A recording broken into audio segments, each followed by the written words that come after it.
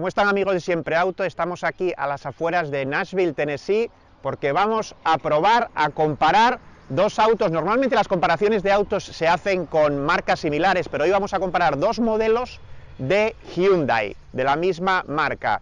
Y estamos hablando de dos híbridos enchufables. Aquí a mi derecha tengo el Hyundai Santa Fe Plug-in Hybrid, híbrido enchufable Santa Fe 2022, y aquí el Tucson híbrido enchufable. Los dos tienen el mismo motor, 4 cilindros, 1.6 litros, turbocargado, pero las configuraciones son distintas. Obviamente el Tucson es un SUV más pequeño, podríamos hablar de un vehículo compacto, mientras que el Santa Fe es un SUV de tamaño medio, que en algunas especificaciones, no en Estados Unidos, pero en otros países llega a meter hasta una tercera fila de asientos. Así que hay algunas diferencias también en el, en el diseño, eh, pero son dos autos muy parecidos. Vamos a verlos por dentro y por fuera. Bueno, pues estamos manejando este Santa Fe híbrido enchufable aquí a las, a las afueras de Nashville, Tennessee, por esta zona tan verde, una carretera secundaria se maneja bastante bien, ya saben, es un SUV tamaño medio con un rango en modo exclusivamente eléctrico de 31 millas, eh, lo cual está justo en lo que se calcula que es el trayecto más o menos normal o medio que, un estadounidense tiene entre la casa y el trabajo. Es decir, si alguien tiene la posibilidad de cargar el, el carro en, el lugar de trabajo, en la oficina, este tipo de vehículos son una buena opción porque lo puede dejar cargando, vuelve y no tiene por qué echar gasolina en ningún momento, por lo menos durante la semana, en lo que es el commute normal, con esas 31 millas de rango puramente eléctrico. Eh, igual que el Tucson, tiene un motor de 4 cilindros, 1.6 litros, turbo cargado, que genera lo que es el motor de gasolina, 178 caballos de potencia, pero como tiene también el motor eléctrico, eh, que por su lado puede generar hasta 90 caballos de potencia, combinado, no se suman exactamente, pero combinado este auto tiene 260 caballos de potencia y 258 libras por pie lineal de, torsión, de torque. La parte trasera tiene sensores, ahí la cámara. Vamos a abrir el maletero. Que en esta Santa Fe es muy amplio. Como digo, en algunos países incluso le meten ahí atrás una tercera fila de asientos, pero en Estados Unidos no, porque quedaría demasiado pequeño y digamos que el mercado no lo admite. Aquí rueda del gato para la rueda de repuesto y algo más de espacio. Esos asientos traseros son abatibles 60-40 y queda prácticamente espacio como para una cama ahí atrás. También amplios aquí los asientos traseros, el techo panorámico sunroof, que este es un, un extra de esta versión limited súper amplio, va hasta atrás, muy eh, luminoso y el habitáculo del conductor con esa consola central, con todos los botones ahí abajo y las dos pantallas.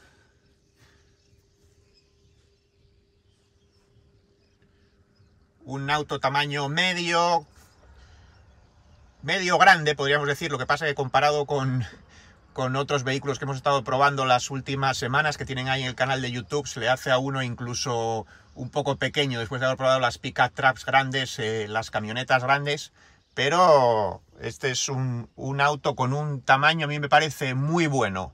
El maletero tiene botón eléctrico de cierre automático.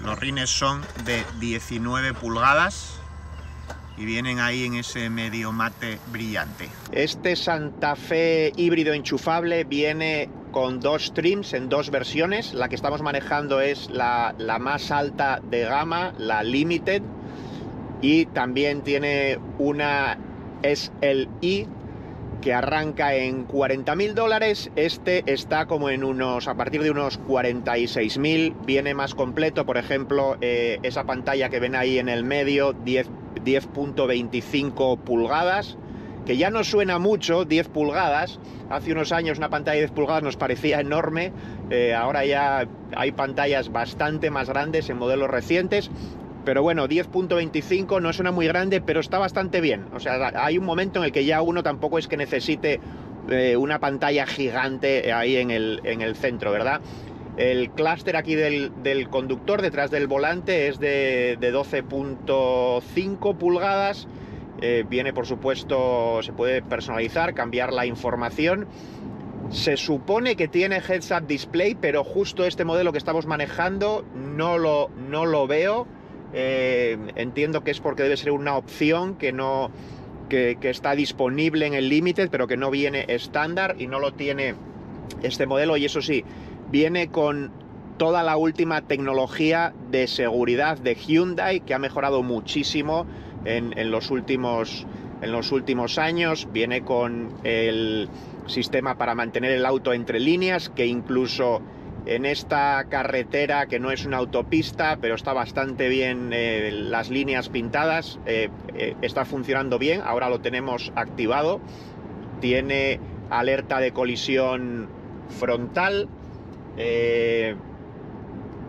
y bueno, aquí en el volante, en la zona de la derecha, tiene todos los botones eh, primero, para cambiar la información del clúster y segundo, para activar, como digo, el, mantenimiento entre líneas, eh, la distancia de, seguridad o de seguimiento con el vehículo de adelante para el, el cruise control adaptativo. Y en la parte de la izquierda los botones para manejar el audio, el infoentretenimiento, subir y bajar el volumen, en algunos modelos viene al revés. Eh, por ejemplo, todo lo que es General Motors, GM, tiene los controles de audio y entretenimiento a la derecha en el volante y a la izquierda eh, lo que es más de conducción, las ayudas de, de, conducción. Pero bueno, eso es cuestión de, acostumbrarse, no, no, tiene más misterio. Viene con ese sistema de sonido Harman Kardon Premium, con esos altavoces con un diseño muy eh, al tacto, son como de piel, muy integrados ahí en, las puertas, tanto delanteras como traseras. Los asientos vienen en, piel, igual que el, volante, buenas calidades en esta versión Limited alta de gama que arranca en 46.000 dólares. Este es el Hyundai Tucson Plug-in Hybrid, es decir, tiene un motor de gasolina, 4 cilindros, 1.6 litros, pero también tiene una batería que le permite a este auto caminar durante 33 millas en modo exclusivamente eléctrico, es decir, tiene un rango eléctrico dos millas más que el Santa Fe eh, híbrido enchufable, que es el otro auto que estamos comparando. Y dirán ustedes, ¿por qué eh, estás comparando dos autos de la misma marca, Hyundai, y de hecho hoy estamos haciendo otro video que también pueden ver en nuestro canal de YouTube, en el que se tienen que suscribir, por cierto, sobre dos modelos más de Hyundai que son totalmente eléctricos, el Ioniq 5 y el eh, Hyundai Kona EV, dos modelos diferentes. Estamos comparando los dos pares con dos pares, y eso es porque Hyundai nos ha traído hasta aquí, hasta Nashville, para probar en un programa que lo llaman Evolve, y de, de electronic, de, eléctrico, y Evolve de evolución, que es, nos quieren mostrar hacia dónde está yendo Hyundai con estos vehículos electrificados. Recuerde una cosa, no es lo mismo vehículo eléctrico que vehículo electrificado. Al vehículo electrificado llaman a todo lo que, lo que tenga una batería, es decir, un híbrido normal incluso aunque no sea enchufable, también la industria lo considera un vehículo electrificado. Los que estamos viendo hoy son híbridos enchufables y vehículos totalmente eléctricos, y por eso los estamos comparando. Este Tucson ya se rediseñó hace más de un año con esa parrilla nueva de Hyundai. En este caso viene con esa cámara delantera, sensores, los faros y llantas de aleación de 19 pulgadas. En el lateral lo más llamativo es que las puertas no son totalmente planas, tiene esos ángulos, ven ahí, que muy distintivos del diseño del Tucson. Eh, las luces de intermitentes integradas en el espejo retrovisor, que en este caso también lleva una cámara ahí lateral, es decir, este auto viene con cámara 360. Y si nos vamos a la parte de atrás, ya más tradicional, vemos ahí también la cámara trasera,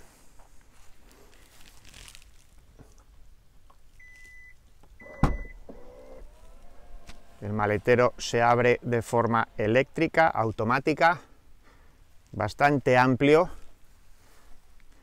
comparable al, de la Santa Fe, que también es grande. Aquí debajo tiene el enchufe, que esto obviamente solo viene en el caso del híbrido enchufable, que es el que estamos probando, y la línea de asientos trasera se puede abatir 60, 40, vean ahí los dos tramos, enchufe de 12 voltios acá la parte trasera y simplemente apretando este botón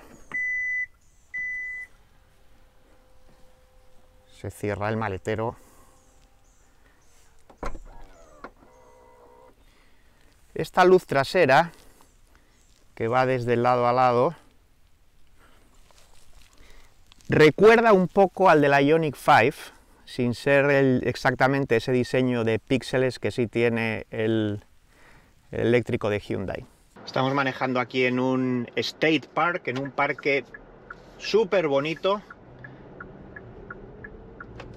entre árboles, en esta primavera, casi verano de Tennessee. Y estamos manejando ahora el, el Tucson híbrido aunque ya no tenemos suficiente batería para manejarlo en modo exclusivamente eléctrico, es decir, estamos manejando con lo que sería un híbrido normal, eh, en el que la batería cuando se frena o cuesta abajo se va recargando un poquito, pero no lo suficiente como para que estemos eh, trabajando simplemente con, con el modo eléctrico, es decir, estamos gastando gasolina ahora mismo. Tiene varios modos de manejo que se cambian eh, aquí en la columna central. Este sería el modo Sport, que en cuanto se activa ya se nota que el, auto se lanza un poquito. También cambian los colores aquí en el, en el clúster de información del, del conductor. Este modo Smart, modo nieve, que obviamente hoy no es necesario utilizarlo. El modo Eco, que trata de conservar la mayor energía y también potenciar la recarga de esa pequeña batería eléctrica que tiene este auto y con cada modo como ven pues cambia ahí en el clúster eh, un poco el diseño este auto es muy parecido eh, al Santa Fe híbrido enchufable. Mismo motor misma potencia 260 eh, caballos si juntamos la potencia que entrega el motor de gasolina con esos 90 caballos extra que le añade eh, la batería eléctrica. Pero hay algunas diferencias de diseño, por supuesto en el exterior lucen diferentes, el Santa Fe es un poco más grande, este es un poco más compacto, aunque mm, viendo el espacio en los asientos traseros y del maletero tampoco es que parezca tanta diferencia, pero el Santa Fe es como más voluminoso. Y luego aquí en esta columna central sí que es muy diferente eh, la pantalla, aquí en el Tucson es como todo más integrado, más táctil, menos botones físicos, hay gente que le puede gustar más el botón físico, aquí todos estos botones que ven aquí es todo táctil. Y luego la zona de cambio de, marchas, la marcha atrás, etcétera, sí es prácticamente igual, pero luego hay otra serie de botones aquí en el medio eh, para la calefacción de los asientos, la calefacción del volante, funciones que tienen los dos autos, pero que están, eh, el diseño de los botones es un poco diferente. También viene con conexión eh, wireless Apple, Apple CarPlay y Android Auto, cargador inalámbrico para el celular wireless, puerto de entrada USB, también le falta este, el puerto, el puerto de entrada USB-C, que estamos viendo ya en muchos, eh, en muchos otros autos, pero aquí pues todavía no. Aquí hay un punto, sí, son dos puertos USB, pero no, no tenemos el pequeño, el USB-C. Y luego el volante, acá lo tenemos de piel, en la parte de la derecha todo lo que son las funciones de ayuda al, conductor, que también son muy parecidas, asistente de, freno de emergencia, eh, aviso de tráfico cruzado cuando estamos dando marcha atrás, cuando ponemos el intermitente, esto sí es diferente. Se vean, vean aquí, al poner el intermitente se activa la cámara lateral de punto ciego, es decir, podemos ver en el clúster prácticamente sin tener que mirar eh, al retrovisor ahí a la izquierda si tenemos algún auto eh, pasándonos o en el lateral ayuda bastante lo hemos visto en otros Hyundai eso no, no lo habíamos visto en el, en el Santa Fe que probamos antes y seguimos con el volante aquí a la izquierda eh, todos los controles del, del sistema de audio y de infoentretenimiento eso está siendo ya bastante estándar en todos los modelos que estamos viendo hoy.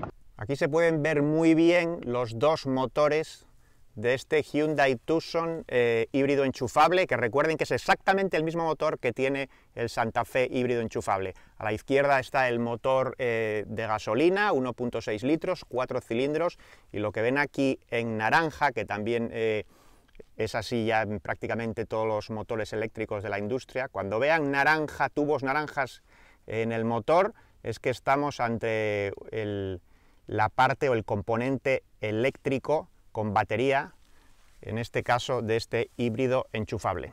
En este modelo tenemos la entrada al depósito de gasolina en el lateral izquierdo trasero, acá, que para abrirlo tiene que hacerse desde dentro, y en la derecha lo cual lo hace que en cuanto a diseño no llame la atención, porque están en la misma posición, está el punto de entrada para la carga de la batería eléctrica.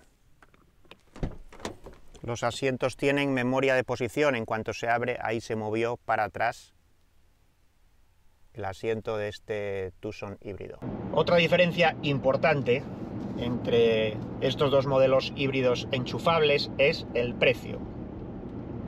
El Santa Fe es un poco más caro, más o menos, según la versión, unos 4.000 dólares más caro que el Tucson. El Santa Fe básico, eh, híbrido enchufable, arranca en 40.000 dólares, el Tucson básico híbrido enchufable arranca en 35.400 dólares. Si nos vamos a los modelos Limited, como los que estamos manejando hoy, que ya vienen más completos con el paquete de tecnología, etcétera, el Santa Fe Limited híbrido enchufable otra vez arranca en 46.000 dólares.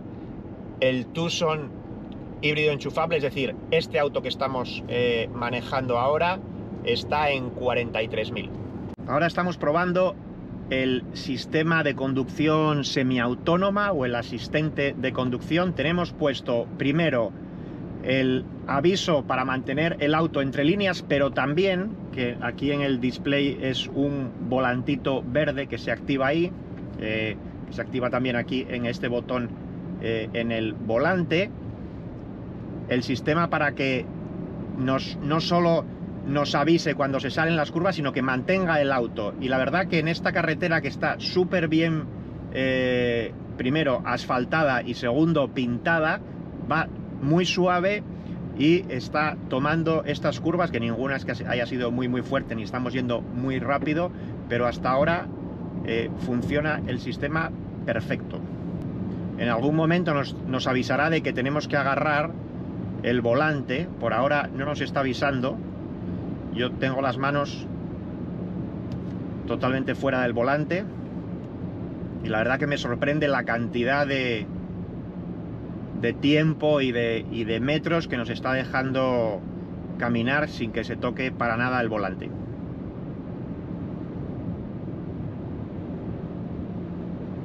Ahora estamos yendo a 60 millas por hora.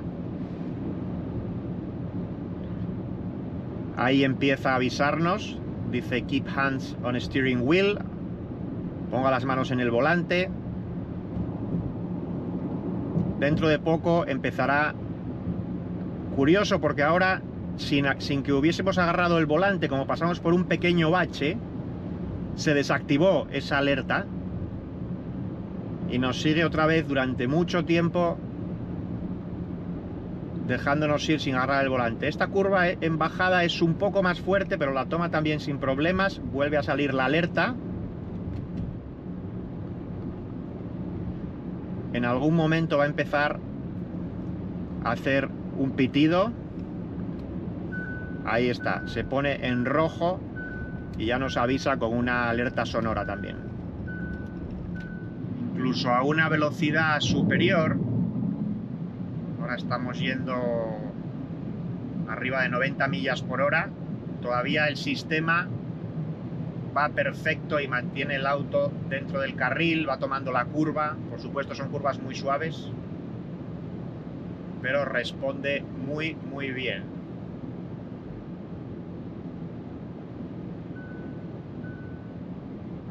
Ahí ya se iba un poquito. Ahí vean cómo funciona la pantalla en, con la cámara de marcha atrás. Y ponemos para adelante y también la cámara frontal y el indicativo de por dónde van las ruedas, que también es muy útil cuando se está maniobrando. Bueno, hoy llevamos todo el día manejando con aquí mi amigo Ricardo Long. ¿Cómo estás, Ricardo? Muy bien, gracias por eh, compartir la ruta contigo. Y estábamos debatiendo, eh, después de haber manejado primero el Santa Fe híbrido enchufable y ahora el Tucson eh, híbrido enchufable, que ya decimos que tienen el mismo motor, ¿con cuál nos quedaríamos? ¿Tú qué opinas? Después de haber manejado, los dos hemos manejado los dos autos. Yo noto cierta diferencia dinámica en cómo actúa el Tucson con el Santa Fe. Me gusta más el Santa Fe porque me parece que si bien la diferencia es de 4 mil dólares más aproximadamente, es como que casi es más amplio. Me parece que el interior, ambos tienen eh, muy lindos interiores, pero los detalles del Santa Fe me parecieron como que lo elevaba a una cosa un poquito mejor. Y lo que sí me llama la atención que también me gustó más del Santa Fe, es la pantalla central. Sí, eso estábamos hablando antes, que es bastante diferente esta estructura de la columna central aquí. A mí me parece que son dos autos muy, muy similares y que casi, casi es cuestión de estilo, eh, de que si uno prefiere tener más un SUV más clásico, un poco más voluminoso, se va a por el Santa Fe. Si a alguien le gusta más el vehículo eh, un poco más compacto, SUV mediano, pequeño, compacto, el, el Tucson. Quizá el Tucson es también un poco más juvenil, diría yo. Eh, sí, eh, porque el, exterior del Tucson, el, el, diseño exterior es un poquito más radical. Creo que Santa Fe es más tradicional, incluso la parrilla que se ve cromada, este tiene el, sistema de luces que le dan, parece un ángel que viene volando. Eh, sí, entonces por ese lado, punto de vista, creo que es para una demográfica totalmente diferente. Poquito más moderno y juvenil este Tucson. Pero luego vienen en, los, en los streams versiones limited, que son las que hemos estado manejando, eh, vienen muy completos los dos y tienen también, por ejemplo, acá los dos tienen el, sunroof panorámico, el quemacocos que va totalmente de adelante a atrás, que a mí me, gusta mucho, y, con todos los elementos de tecnología y seguridad avanzados de, Hyundai. Así que bueno, para, para gustos, un poquito más caro el Santa Fe, eso sí, quizá por, por, por volumen, es un poco más carro, ¿verdad? pero... Lo que pasa es que ese vehículo de Santa Fe es como un poco más imponente, me parece. Es como que estás manejando una camioneta tipo SUV y este sí es, me parece, tiene ese tono más juvenil eh, y es más compacto. Pero te digo que los dos andan muy bien, ¿eh? Muy, pero muy bien. Así es. Muchas gracias, Ricardo. says,